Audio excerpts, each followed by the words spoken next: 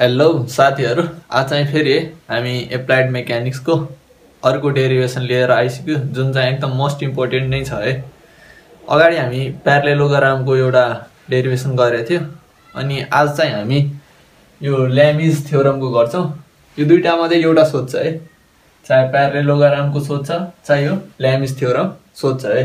यो हेर्न सक्नुहुन्छ है दुई हजार साठीदेखि छिहत्तरसम्म यो कति सात आठ सालै सोधिसकेको नुमेरिकल छ। कुनै साल सर्ट नोटमा पनि सोध्छ। सर्ट नोटमा सोद्धाखेरि फोर मार्क्समा सोध्छ है। अनि यो थ्योरमै सोध्यो भने एट मार्क्समा सोध्छ। जसमा हामीलाई स्टेटमेन्ट लेखेर अनि त्यसको प्रुफ देखाउनु पर्ने हुन्छ है। अब यसको स्टेटमेन्ट के छ भनेपछि तिनवटा फोर्सहरू छ है। एउटा कोप्लानर छ एउटा कन्कुरेन्ट फोर्स छ एन्ड अर्को छ नन कोलिनियर फोर्स छ है। यो तिनवटैको बारेमा पहिला म भन्छु है। कोप्लानर भनेपछि के हुन्छ भनेपछि तिनवटा फोर्स है। कुनै तिनवटा फोर्स एउटा पोइन्टमा सेम टाइममा है एक्ट गरिरहेछ एउटै पोइन्टमा एक्ट छ भने त्यसलाई कोप्लानर फोर्सहरू भन्छ। कन्कुरेन्ट फोर्स भन्नाले के हुन्छ भनेपछि कुनै तिनवटा फोर्सहरूको लाइन अफ एक्सिस है। जस्तै यो फोर्स गयो भने यताबाट पनि फोर्स छ यसको पनि लाइन अफ एक्सिस अनि यता पनि जस्तै यहाँ यता पनि फोर्स छ तलतिर अनि यसको पनि लाइन अफ एक्सिस है। एउटै पोइन्टमा मिट गरिरहेछ भने त्यसलाई के भन्छ भने कन्कुरेन्ट फोर्स भन्छ है त्यस्तो फोर्सहरूलाई एन्ड एउटा छ कि कोलिनियर फोर्स है। एउटा के छ? नन कोलिनियर है। कोलिनियर भनेपछि लाइनहरू एउटै लाइनमा पर्न गयो भने त्यसलाई कोलिनियर भन्छ लाइन माथि लाइनै पर्न गयो भने त्यसलाई कोलिनियर भन्छ। यसमा के भनिन्छ नन कोलिनियर फोर्सहरू भनेपछि लाइनमा एउटै फोर्समाथि फोर्स पर्नु भएन है? डिफ्रेन्ट डिफ्रेन्ट ठाउँमा फोर्सहरू हुनु पर्यो है? यो तिनवटै फोर्स के छ? एउटा दुईवटा भयो अनि एउटा यहाँ तलतिर तानिदियो भनेपछि तिनवटै फोर्सहरू है? हाम्रो के भयो? नन कोलिनियर भयो है? Act at a point be equilibrium yeah equilibrium then each force is proportional to the sine of the angle है between two फोर्स है यसमा के भन्ने छ भने, कुनै तिनवटा फोर्सहरू जस्तै एउटा पी फोर्स यहाँ क्यु फोर्स यहाँ आर फोर्स भयो। ती फोर्सहरू के भन्छ डाइरेक्टली प्रोपोर्सनल टु यो दुईवटा फोर्स यो दुईवटा फोर्सहरूको एङ्गल है भनेपछि साइन अफ एङ्गल जस्तै आर फोर्स लियो भने यसको एङ्गल के भयो? Sine proportional to sine. यस्तो छ कि यो आर प्रोपोर्सनल टु साइन यसको एङ्गल के छ? अल्फा। भनेपछि गामा छ भनेपछि गामा आयो ए। अनि आर बाई आर बाई के छ? साइन गामा आछ कि? यसरी नै। अब आर लिँदाखेरि आर फोर्स लिँदाखेरि हाम्रो के आयो? Sine by gamma. जस्तै पी फोर्स लियो भने पी अनि sine by alpha Q force लियो भने क्यु फोर्स लियो भने के हुन्छ? Q by Q by sine beta है यहाँ त्यही म्याथमेटिकल टर्ममा यसरी लेखिदिएछ है। सर्ट नोट लेख्दाखेरि यो लेखेर अनि फिगर बनाएर लेखिदिँदाखेरि मार्क दिन्छ है। अब आठ मार्क्समै सोध्यो भने फुल डेरिभेसन यसको प्रुफ पनि गर्नुपर्छ। कुनै साल स्टेटमेन्ट अनि प्रुफ भनेर टु मार्क्सको स्टेटमेन्ट अनि सिक्स मार्क्सको प्रुफ भनेर पनि दिएको हुन्छ है। अब चाहिँ हामी के गरौँ? यसलाई मेटौँ है। लास्टमा यही हामीलाई निकाल्नु पर्ने हुन्छ। हामी एकचोटि अब के गरौँ यसमा? प्रुफतिर जाउँ है। प्रुफमा यस्तै तिनवटा फोर्सहरू लिनुपर्छ। अनि त्यसलाई प्यारलेलोग्राम बनाएर प्यारलेलोग्राम बनाउने अनि त्यो एउटा ट्राइङ्गल लिएर त्यसपछि साइन लो लगाउने अनि साइन लो लगाइसकेपछि हाम्रो के हुन्छ? त्यसबाट हाम्रो लास्टमा के हुन्छ? इक्वेसन आइहाल्छ है। मैले यहाँ फिगर बनाएँ। जस्तै तिनवटा फोर्सहरू छ। यो चाहिँ पी फोर्स मानौँ यसलाई क्यु मानौँ यो चाहिँ आर फोर्स भयो। यसलाई ओ मानिदियो यसलाई चाहिँ प्यारलेलोग्राम बनाउनु पऱ्यो है यहाँ पनि। भनेपछि यसरी ड्यास तान्ने योसँग प्यारल हुने गरी त्यसरी लाइन ताने अनि जुन यो बिचको एक्सिस हुन्छ नि त्यसलाई यसरी जोड्यो जुन चाहिँ हाम्रो रिजल्टेन्ट हुन्छ। अब प्यारलेलोग्राममा के हुन्छ? यो लाइन यो लाइनसँग इक्वल हुन्छ यो लाइन यो लाइनसँग इक्वल हुन्छ। भनेपछि यो क्यु हाम्रो यो क्यु हुन गयो यो पी यो पी हुन गयो। अब यसलाई नेमिङ गरिदियो। ए भइहाल्यो यहाँ ओ भइसक्यो त बी हालिदियो। यहाँ चाहिँ सी हालिदिउँ। अब चाहिँ यसलाई चाहिँ डी हालिदिउँ है। अब फोर्सहरू हालिसक्यो। अब एङ्गलमा यहाँ चाहिँ मैले बिट्टा हालिदिँदा पनि भयो चाहे अल्फा हालिदिँदा पनि चाहे गामा जुनसुकै हाल्दा बिट्टा मैले यो एङ्गल है यो यति एङ्गललाई अनि यो एङ्गललाई के गरेँ मैले? अल्फा हालेँ यो चाहिँ हाम्रो फिगर भयो। अब चाहिँ यहाँ हेर्नु है प्रुफमा। प्रुफमा हेर्नु पहिला के गर्नु भनेपछि हाम्रो के छ? ए अनि ओको कति छ? फोर्स है फोर्स फोर्समा मैले लेखेँ एफओआरसी फोर्स जस्तै ए अनि ओ इक्वल टु सिबी यो बी छ है बिटा होइन। सी अनि बी कति भयो? हाम्रो पी भयो। अर्को फोर्स के भयो? AC equal to OB equal to Q A दुईवटा फोर्सहरू भयो। अब एङ्गलको कुरा गर्नु। एङ्गलको कुरा गर्दाखेरि हामीले के गर्छौँ? लास्टमा यो ट्राइङ्गल लिन्छौँ है? यो ट्राइङ्गल लिन्छौँ। त्यही भएर के गर्नु पऱ्यो हामीलाई? यो ट्राइङ्गलको यो एङ्गल पनि यो एङ्गल पनि यो एङ्गल है? तिनवटै एङ्गल निकाल्नु पऱ्यो है? त्यसको लागि हामीले पहिला यो एङ्गल निकालौँ है? यो एङ्गल निकालौँ। एङ्गल एओ अनि यो सी है? एङ्गल एओसी भनेपछि यो कति भयो? हाम्रो सिधा लाइन भनेपछि एक सय असी एक सय असीबाट यो बिटा घटाइदियो भने हाम्रो त यताको एङ्गल आउँछ है। एक सय असी माइनस बिटा भयो। अब चाहिँ एङ्गल यो कसरी निकाल्ने भन्ने कुरा आउँछ है। यो निकालिसकेपछि यो निकाल्नु। यो निकाल्नको लागि हामी के गर्छौँ भनेपछि यो अल्फा अल्फा एङ्गल छ नि। पहिला यो एङ्गल निकाल्छौँ। यो एङ्गल निकाल्छु। यहाँ हेर्नु है यस्तो लाइन छ दुईवटा लाइन छ यस्तो। अनि यसलाई एउटा लाइनले यसरी क्रस गरेछ। अनि यो चाहिँ यहाँ जोडिएको छ होइन? यो यहाँ जुटेको छ यो लाइन यो भयो यो सी भयो। भनेपछि हाम्रो यो एङ्गल आइसकेपछि यो लाइन यो लाइन प्यारल छ अनि दुईवटा लाइन इन्टरसेक्ट गरेछ है?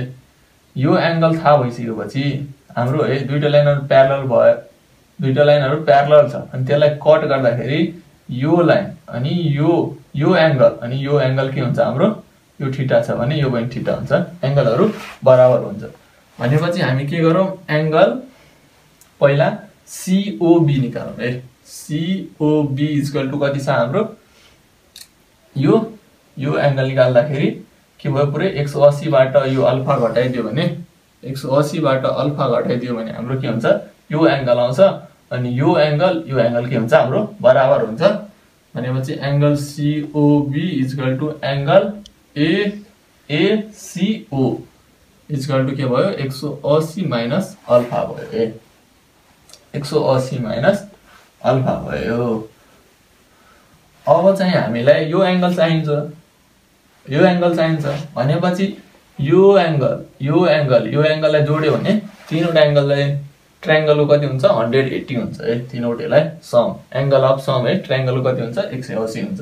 भनेपछि मैले यसलाई angle angle OAC OAC plus angle ACO plus angle यो निकाल्नको लागि COA. C angle COA equal to कति हुन्छ एक सय असी हुन्छ। है हामीले यहाँ हालिदियौँ इन ट्राइङ्गल एसिओमा है अब चाहिँ हामी के गरौँ? के के को भ्यालु थाहा छ है हामीलाई?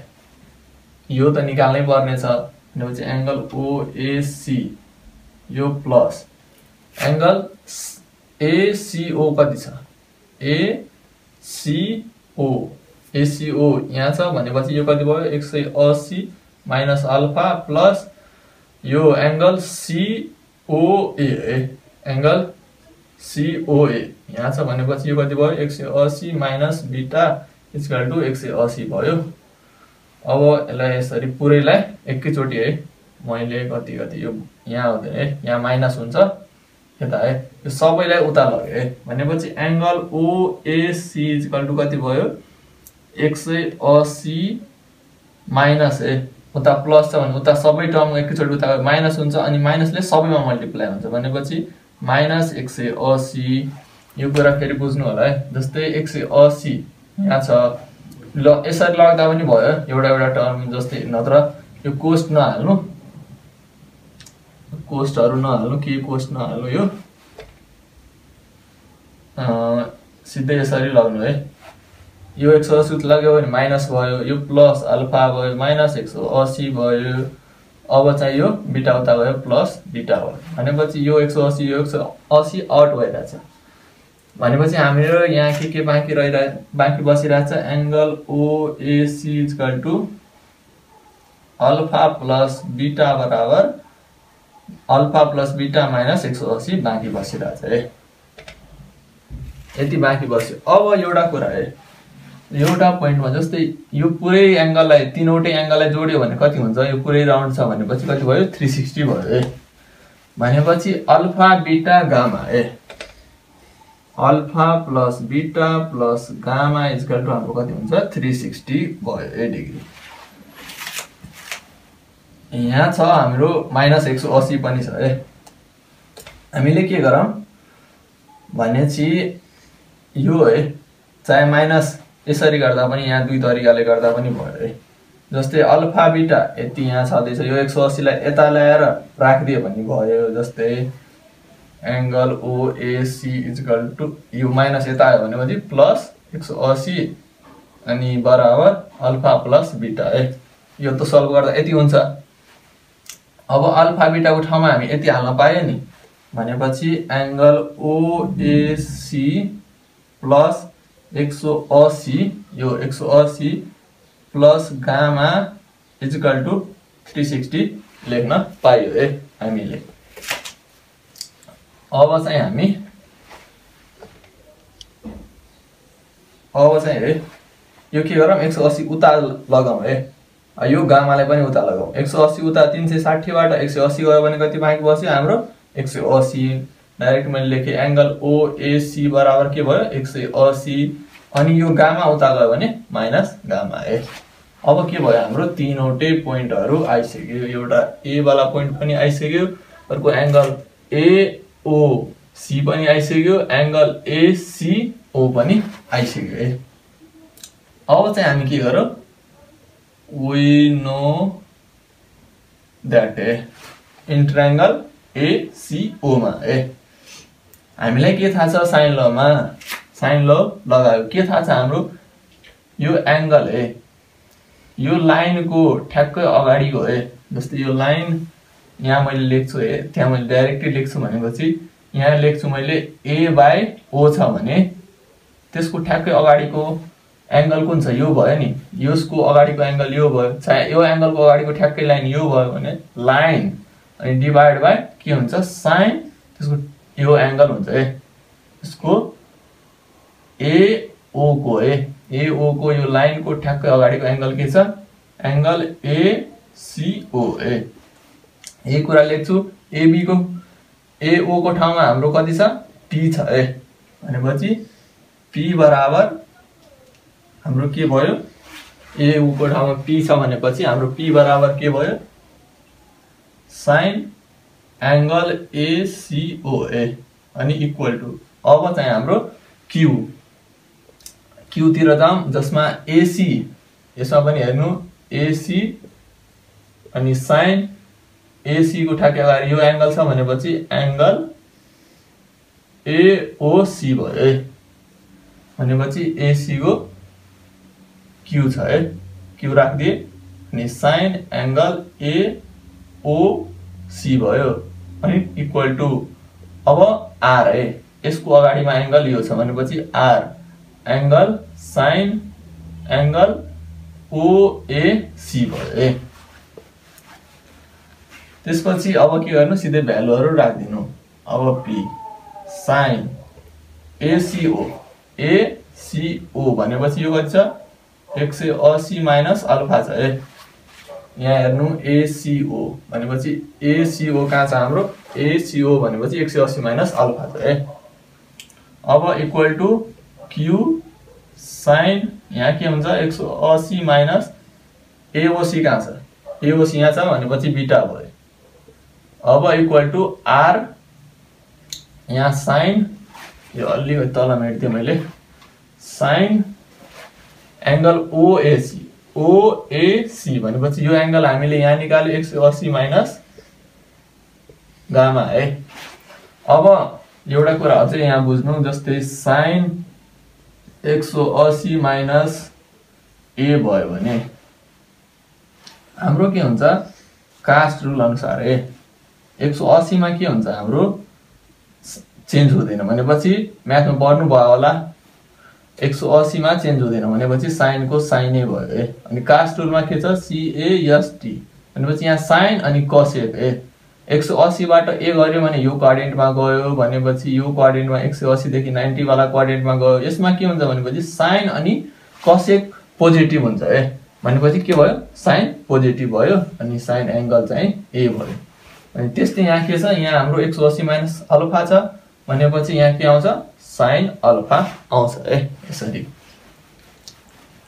भनेपछि हाम्रो यहाँ के के बाँकी बस्यो? P divide by sine alpha अनि Q divide by sine beta अनि R divide by sine gamma है। यति चाहिँ हाम्रो के छ?